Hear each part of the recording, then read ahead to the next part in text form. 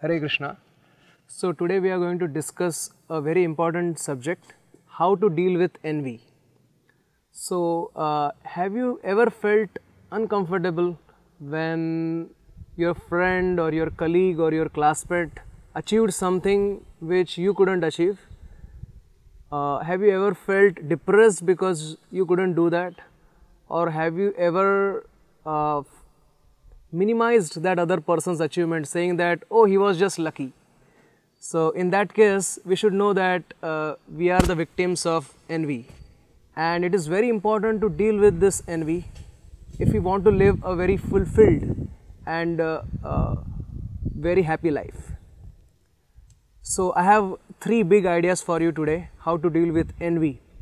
First big idea is uh, that if we are feeling such kind of envious feelings, then we should know that we lack inner satisfaction.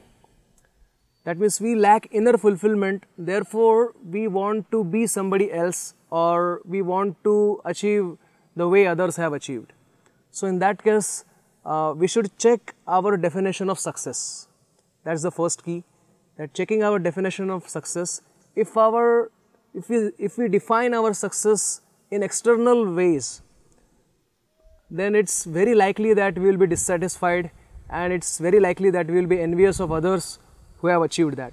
For example, if my definition of success is I feel successful if I stand first in my class, or if I feel and I feel successful if I get a certain amount, amount of raise in my salary. So these are all external definitions of success, uh, and very often than not, we are going to fail miserably if we if we are applying this kind of uh, definition for our success. On the other hand, if we have internal definition of our success, for example, how much quality do I put in my work? How much my work is helping others? How much determination, how much creativity am I putting in my work? How much dedication am I putting in my work? Am I offering my work as an offering to God? So, all these are internal definitions of success. Yudhishthir Maharaj, he had internal definition of success.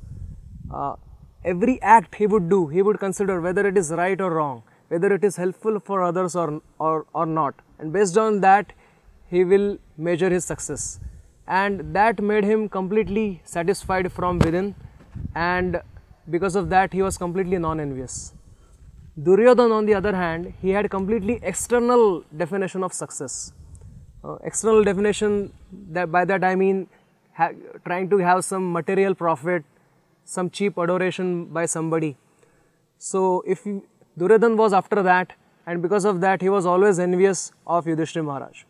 So the first idea is that if we are feeling envious, then it's a sign that we are lacking inner fulfillment. And to have that inner fulfillment, we should have right definition of success. That means internal definition of success. Second big idea, to deal with envy, we have to accept ourselves. Uh, we cannot be so harsh to ourselves, uh, expecting too much from ourselves, saying that you have to be like that, you, you have to be like this. So, by that I don't mean uh, that we shouldn't improve, but as I said earlier, that we should improve based on our internal definition of success and not based on competition with somebody else. So, accepting ourselves, knowing that uh, God has created, created everybody, every one of us in a unique way. And uh, a good news for us is that God has, Krishna has a unique relationship with each and every one of us. So, we need to celebrate that and accept ourselves and improve as Nimai Lila Prabhu says that trying to become best version of ourselves rather than trying to imitate somebody else and become miserable. So that's second idea that accepting ourselves. We have the example of Vishwamitra who was a sage, who was a king before and who was in constant competition with this Vasishtha Muni, who was envious of Vasishtha's position as uh, having divine powers and uh, Vishwamitra would do austerities and come back only to find out that he is still less powerful than Vasishtha. And the day Vishwamitra gave up the competition, competitive mentality and accepted himself, That day he was enlightened. So we can learn from this to deal with envy, we have to accept ourselves.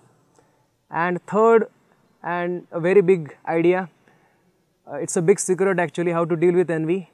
To know that envy is actually indirect appreciation. So think about that. Envy is indirect appreciation.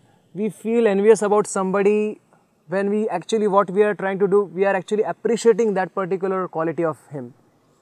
So for example, um, if somebody, some of your friends give good presentation, so instead of feeling envious of him, that's a negative feeling, instead of that we can appreciate that wow, he has presented this so nicely and we can try to learn it for ourselves. For example, oh, he does this, this, this for his presentation. Oh, this is how he prepares. Oh, this is how he rehearses. And let me also try it out. So that way, we not only appreciate but also try to imbibe those principles which we really appreciate. So this is how we can deal with envy by appreciating others, by trying to learn from him. Maybe we can write down a few good qualities in our diary about the person with whom we feel envious and then going to that person right away and appreciating him, expressing that appreciation and maybe asking for guidance. Oh, how do you do that? Maybe I can also try in my own life. So that way our life will become more successful, more positive and more fulfilling. So three ideas we discussed today to deal with this problem of envy. First idea is that we need to have inner fulfillment in order to have in order to deal with envy and for that we require right definition of success. So we need a kind of introspection here that what is our definition of success? Is it internal or is it external? So this is one, have the right definition of success. Second big idea is accept myself. I should accept myself and I, I should try to improve based on my definition of success. And third big idea is whoever I am feeling envious of, try to appreciate that person because appreciation is actually indirect indirectly like envy is basically indirect appreciation.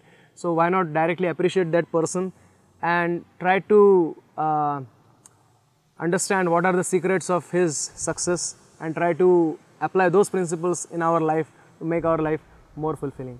Hare krishna